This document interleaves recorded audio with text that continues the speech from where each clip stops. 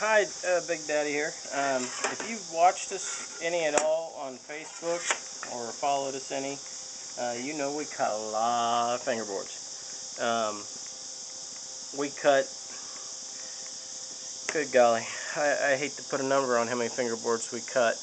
Um, when we cut fingerboards on a weekend, and we probably do it twice a month, um, we'll cut anywhere from 40 to 60 fingerboards on a weekend.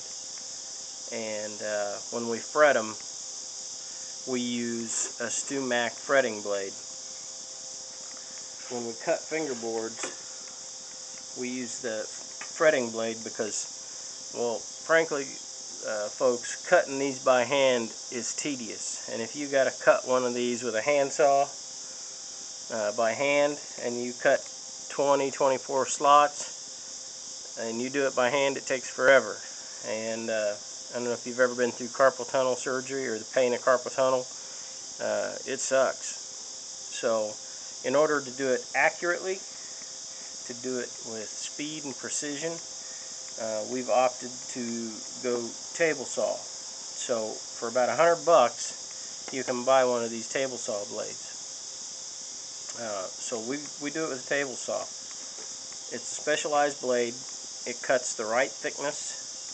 If you look at your StewMac fret wire, and there are other companies that make fret wire, but when you order fret wire, fret wire is ordered by a certain width, crown, and tang. And the tang um, is the depth and the thickness by which it goes down into the fretboard, the width of that slot. It's very precise in this table saw is ground to a precision thickness to cut that slot. So we cut so many of these fretboards that um, we don't fool around with the hand saws. Um, I'm going to spin, spin you around here real quick. We keep a lot of fingerboards on hand.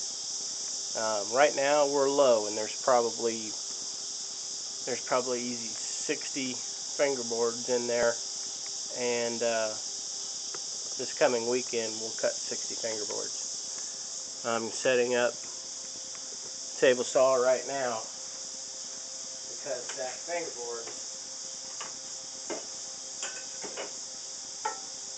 Tonight I'm going to cut dizzy again. I'm going to unhook the camera here from the tripod. But tonight, I'm going to cut that stack of fingerboards. It'll take about, oh, it'll probably take about 20 minutes, maybe 30. But that's the stack I'm going to do tonight. And we will probably have another stack to do this weekend about that same size. But anyway, I'm putting the table saw blade on here. And if you ever buy a neck from us, you can know it's done precision ground. It's not only is it the right size blade, but we use a blade stabilizer so that the blade's not in there wobbling. You know it's in there and it's done right.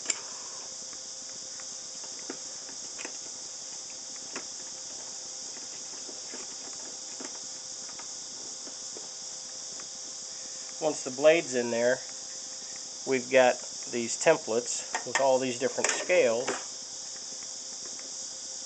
different ukulele scales, different guitar scales that we use, and uh, tape that to the back of your fingerboard blank. Uh, you set up your height of your blade, run it through the saw uh, a lot of times, and you go to town. Once I get the saw set up, I'll show you the sled that we use to uh, run it across there and show you a few passes and uh, then you get an idea of how uh, the fret slots are cut.